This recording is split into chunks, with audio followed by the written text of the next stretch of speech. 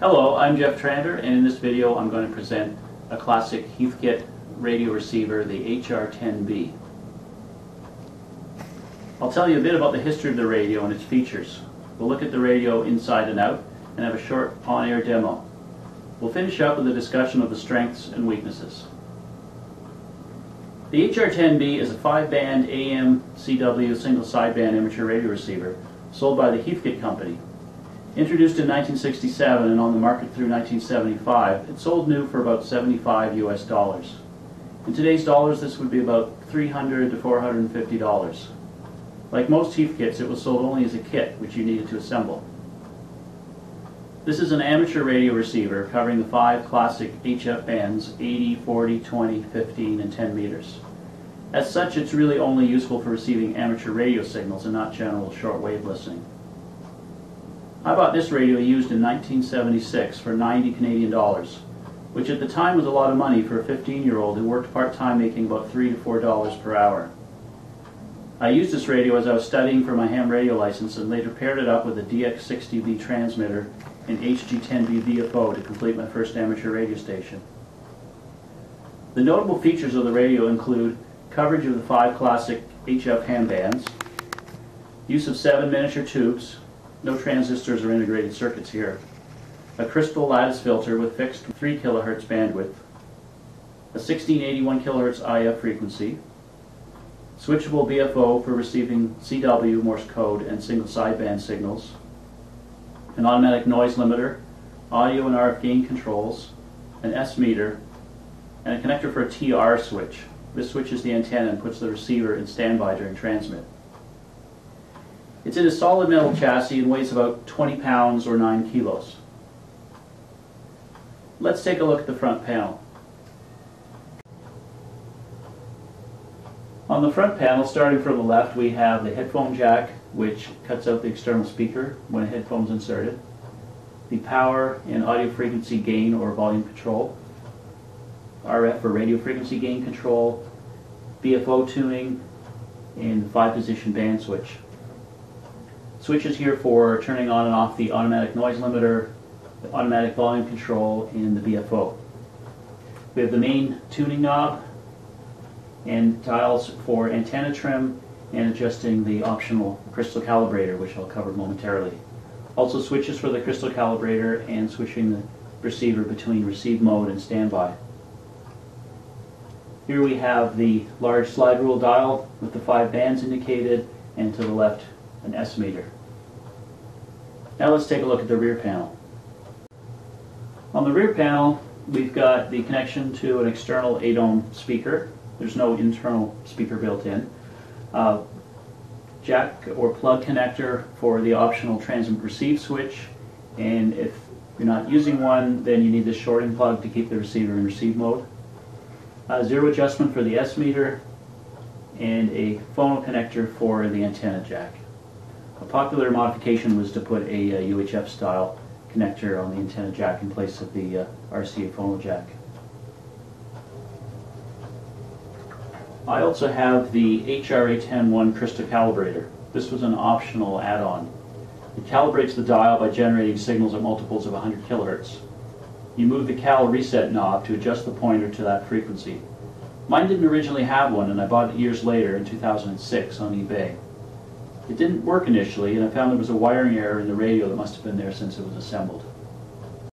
Let's have a listen to some uh, on-air signals. I've turned the radio on a few minutes ago and let it warm up. So I'll just take it out of standby mode. First let's uh, adjust the uh, frequency using the crystal calibrator. What we could do here is set the dial, in this case we're on 40 meters, let's set it to the nearest 100 kilohertz setting to where we're going to operate, so let's say 7.1 megahertz. We turn on the calibrator, we'll hear the, uh, the tone and we can adjust the cal reset for a zero beat and we should be right on 7.1 kilohertz now. It's actually necessary to calibrate it as you switch bands or even uh, move a large distance within a band um, due to the inaccuracy of the, the receiver of these, of these vintage. So let's see if we can pick up any CW signals tonight on the 40 meter band.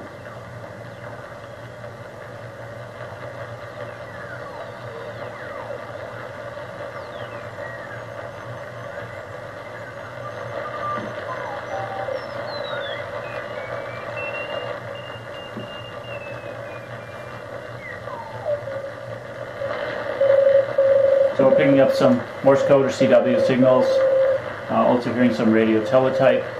If we went up to the higher end of the 40 meter band, we would hear some single sideband signals as well.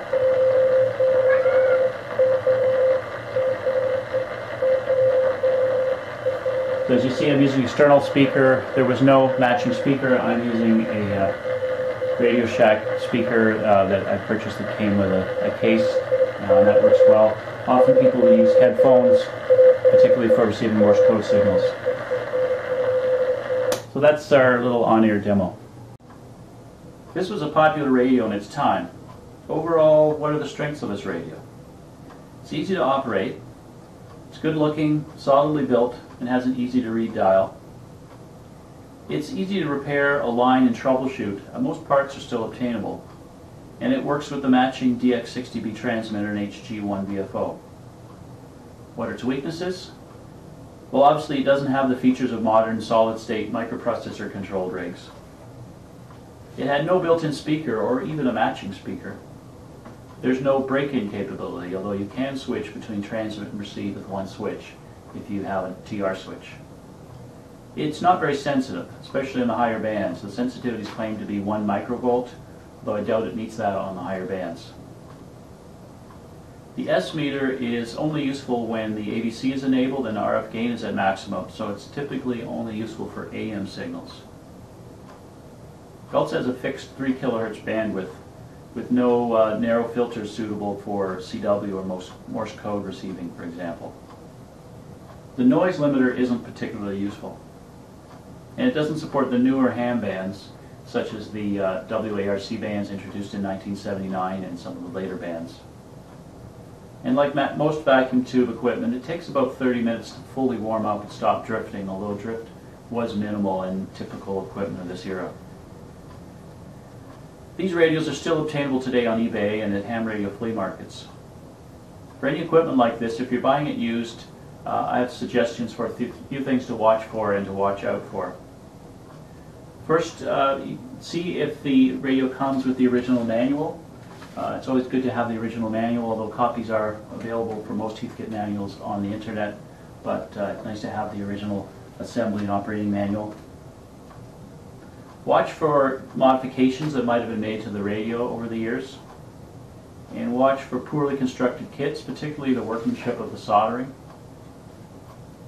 And finally, if the radio is missing some hard to replace parts like band switches, coils, or some of the unique mechanical parts, that can be problematic as well. The HR10B was actually a replacement of an older model HR10. The only difference between the two was that the paint was changed from a smooth to a wrinkle finish to match the DX60B transmitter. Electrically, they're the same. Some of the information on the radio came from Chuck Penson's book, Heathkit, A Guide to Amateur Radio Products. If you're a fan of Heathkit equipment, I'm sure you'll find this book fascinating.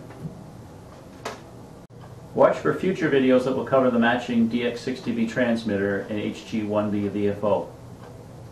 I hope you enjoyed this little video as much as I enjoyed making it.